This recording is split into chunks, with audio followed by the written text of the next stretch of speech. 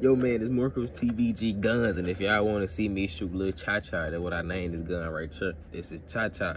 It's a, a 22. You feel me? Shooting high velocity round. I got on um, hollow point 22 is off in here. We're gonna see what they do. It is loaded. It is on safety. It do got a little BB gun safety on here that I do not like. This gun is poorly made, but it run though. So that's how you take it on and off safety. You literally push the button. Crazy.